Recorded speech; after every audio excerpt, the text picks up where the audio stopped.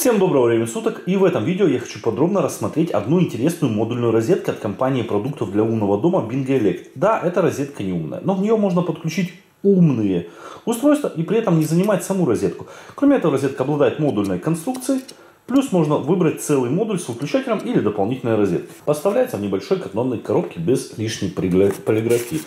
В комплект поставки входит инструкция по монтажу розетки на английском и на немецком языке.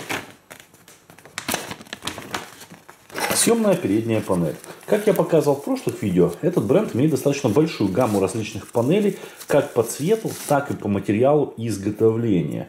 В моем случае я выбрал черный акрил.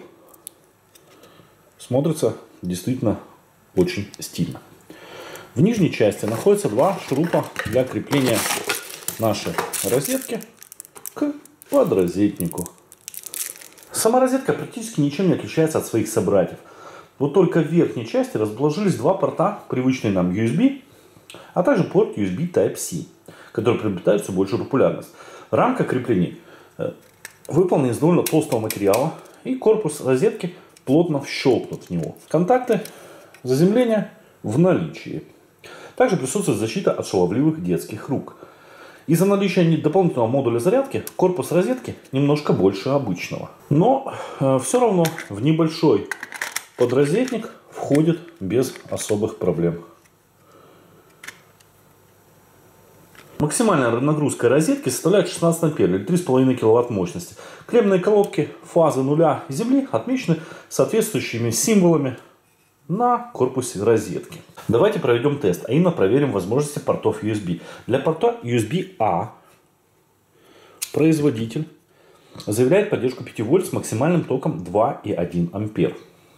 А для порта Type-C при напряжении 5 вольт максимальный ток может быть 3,1 ампер. Для напряжения 9 вольт напряжение ставит 2 ампера, а для 12 вольт 1,5 ампера. Неплохой, я вам так скажу, Type-C модуль выбран.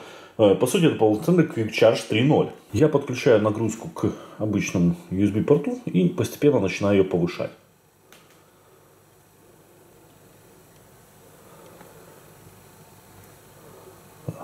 Заявленная производителем 2,1 э, ампер выдерживает. Я повышаю больше.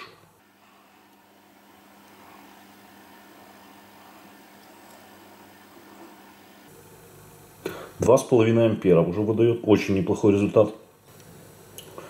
Два и пять и семь. 2,6 уходит в защиту. То есть 2,5 ампера, даже больше, чем заявил производитель. Э, наш порт для зарядки выдает. Это отличный результат, я вам скажу. Что ж, давайте проверим, какую нагрузку сможет выдержать порт USB Type-C. Я подключил сейчас 5 вольт. Без платы Quick Charge.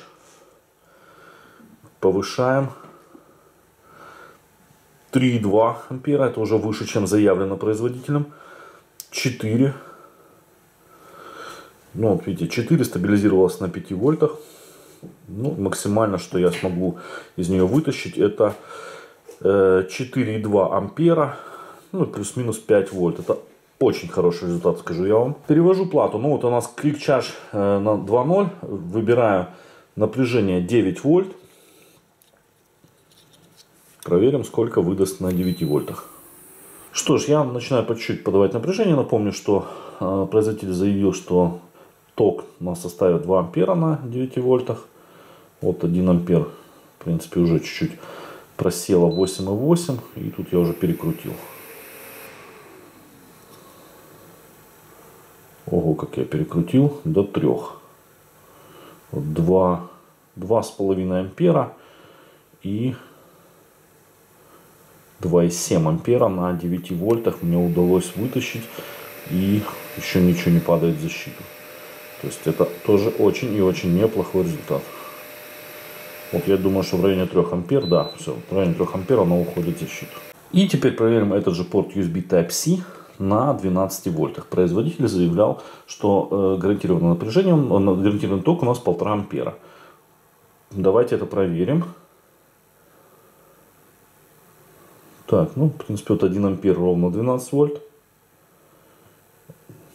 1,4 Вот, гарантированно то, что нам производитель говорил, я подстараюсь подстроить. Вот, 12 вольт, э, полтора ампера. Производитель не обманул. Теперь повышаем. Какой же здесь есть запас? 1,8, 1,9, 2 ампера, 2,12, 2,2 ампера. 2, я чувствую, 2,3 ампера где-то будет, ребята, при 12, 12 э, вольтах. Тоже хороший запас прочности, так сказать, сделал производитель. С этим я не могу не согласиться. К покупке могу рекомендовать. Немного дороже простой розетки, но с полноценным зарядным устройством для современных смартфонов и других гаджетов. При, при необходимости у производителя есть различные варианты как одиночной розетки, так и совмещенных.